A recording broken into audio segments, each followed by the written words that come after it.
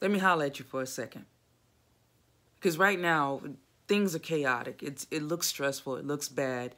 And trust me, there are a lot of bad things that are happening in the world right now. But let me just get you centered and focused for a second. Let me make you turn within self and think about a few things. There's a saying that goes, when it looks like everything is shaken up and all over the place, disrupted, sometimes that's when things are really falling in place. Things are getting in order. The system as we've known it for so long is being challenged, it's being disrupted, being dismantled and changed. In my personal opinion, things are going to turn out for the better once everything has transpired and the dust clears and you're going to see why stuff had to be shaken up. But I say all this to say, when I stepped out on faith to run my business full time, I went through hell. It was not easy.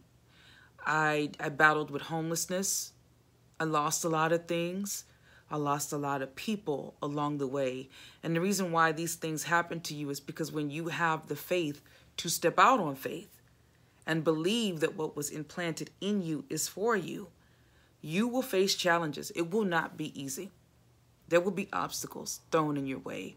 There will be people that would try to sabotage you. There are there's these people called dream stealing people who try to steal your dreams from you who try to take your ambition, who try to use and abuse you because they see you're a good person, so they try to make a name for themselves off your blood, sweat, and tears. I've dealt with that. I've dealt with that. It's people that I worked for that to this day, they still owe me money.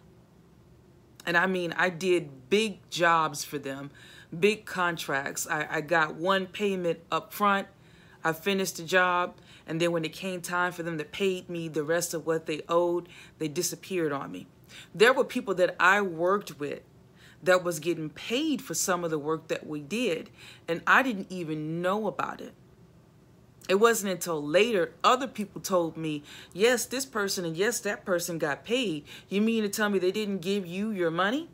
I told them to give you this, this, this, and this. I learned all of that. And the reason why I learned those things was because it was the universe's way. It was it was God's way of showing me stop being dependent upon people to get you where faith can take you. Because see sometimes we look at what other people are doing and we try to model ourselves after their success model. Sometimes we try to attach ourselves to other movements, other ideas, and other creations because a lot of us don't really have we don't have uh, belief in ourselves. We don't have enough confidence to believe that we can manifest inward, outward, what God has put into us. We don't trust ourselves enough. We think that the only way we'll be successful is if somebody help us get there. But I'm here to tell you, boo-boo. I'm here to tell you that sometimes you got to go through hell to get to heaven within self. And that's creating the alignment of the energy that you need to manifest what it is that you desire. You have to be able to see yourself walking into the visions that you have for yourself. And as I minister to you, I'm still ministering to myself because there are times that I look at what I'm doing right now behind the scenes that I don't talk to anybody about except for a few people.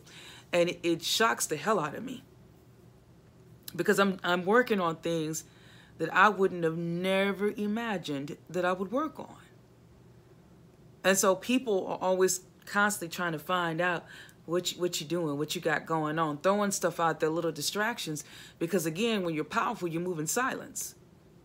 You don't need to let everybody know what you're doing because when you don't let people know what you're doing, they don't know what to fight you on. I learned that too. All things work together for the greater good of those who love him. Everything you went through, everybody you encountered, all of the experiences you had in life are being used to teach you how to value yourself. It's being used to teach you how to have confidence in yourself. and to understand that the talents and the gifts that have been placed inside you are being pressed out through the trials and tribulations and errors and failures that you face and deal with. And I always tell people, young people that I mentor, if God brought you to it, He can bring you through it. You see, this journey ain't easy. Success, not easy. Nobody is successful without help. But through the things you deal with with bad people, it teaches you how to accept and embrace and discern who's here to help you and who's here to hurt and hinder you. Uh, I, that's a whole sermon right there. I could talk about that all day. So I just wanted to take some time to give you these words of encouragement and, and, and drop some jewels on you. So tonight, before you go to bed, I want you to take out a piece of paper and a pen and write down the following. I want you to ask yourself the question number one, what do I want for myself out of my life? Who am I? This is all one question. Who am I? What do I want for me? Not for everybody else. Because it's cool that you want to help other people. There's absolutely nothing wrong with that. But don't forget to put you first. Stop putting yourself on the back burner trying to promote other folks because then you forget you in the process. What did God place in me and what is my purpose in life? Because that's where you find your fulfillment and your alignment in the universe is when you know who you are, whose you are, and why you're here. The second thing you need to do is write down a plan, three step plan on how you plan to get there. And what I mean by there is self discovery. Write down three things that you need to do every day that constantly helps you discover you. Now, here are some things that I have done. I have gone to counseling. I am still in counseling because I want to make sure that I understand me better than anybody else do. When you walk into your own truth, you are a powerful force to reckon with. Because when you know you, can't nobody tell you who you are and what you should be. Can't nobody distract you because you know the direction you're going in relation to how you see yourself. Another thing I do is I do daily affirmations. I constantly speak life over myself because a lot of us have to undo the programming that other people gave us and put on us and told us who we are in according to how they see us. You see, some of us are still battling with the bags that our parents passed down to us in their brokenness because our parents used that slave mentality to make sure that we stayed stuck like them. So now you breaking your parents' generational curses, your grandparents' generational curses, and so on and so forth. So sometimes you got to separate yourself from your lineage of pain. On top of that, I exercise, I eat right, I take better care of myself now, more than I ever did before.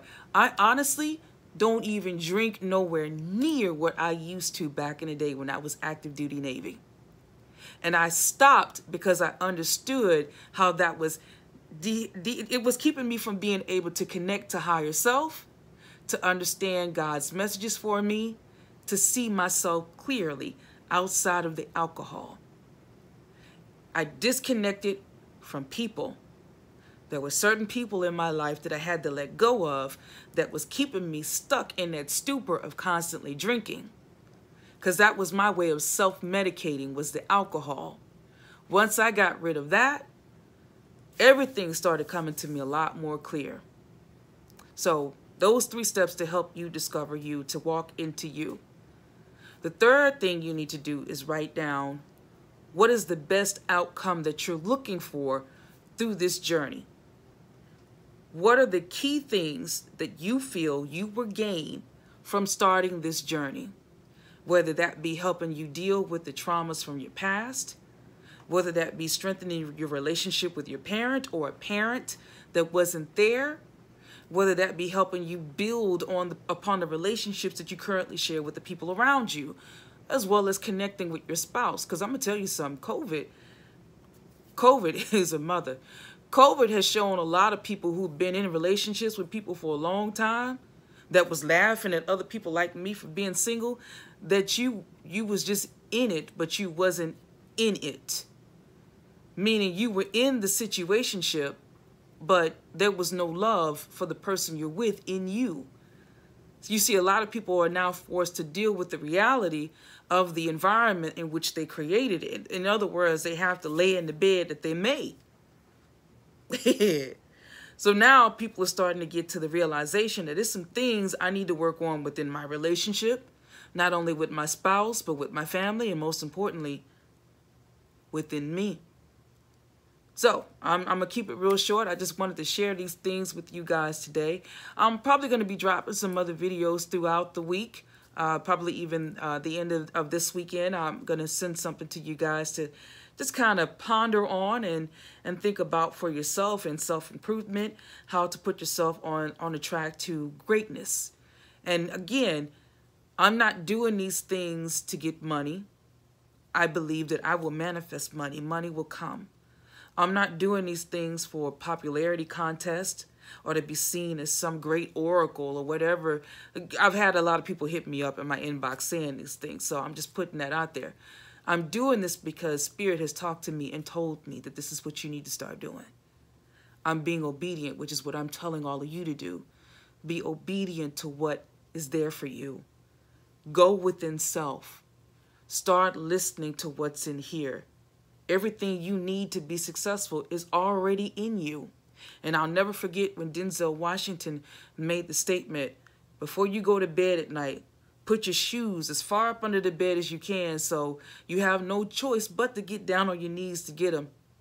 So while you're there, pray. While you're there, sit Indian style and meditate. Or while you're there, just sit in silence. Just get quiet no distractions. Tell everybody around you to be quiet. Set aside some me time where it's nobody but you. And if you believe in God, God. If you believe in Allah, pray to Allah. If you believe in the universe, ask the stars to align in your favor. But you have got to use this time that you have wisely. Because once we get to what they're calling the new normal, you won't have the opportunity to engage in this form of reflection. Choose it wisely. Learn to manifest what it is you want. Change the narrative that you speak to yourself and the words you choose to speak over yourself. I had friends who used to tell me back in the day, stop calling yourself fat. They used to tell me, stop calling yourself ugly, because these were the things that I would say about myself. That was the stuff that other people had impressed upon me because I didn't understand that sometimes when people fight battles within themselves, they'll pass that battle on to you. So the next thing you know, you broken over somebody else's issues that they're fighting within themselves. Now you calling yourself what they call themselves every day when they look in the mirror. Food for thought. So, holler back at me. Let me know how the week goes. Let's let's link up Friday and talk about what you discovered. Take care.